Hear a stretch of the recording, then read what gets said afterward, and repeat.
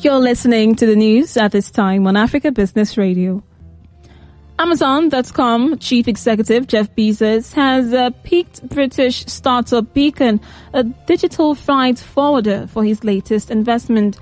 Beacon said it raised over $15 million in Series A fundraising from investors including Bezos and venture capital firm 8VC.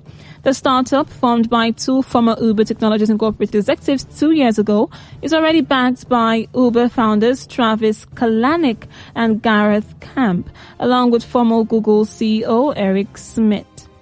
Beacon is also a supply chain finance firm that provides real-time data of cargo delivery and a marketplace view of global shipping costs and prices.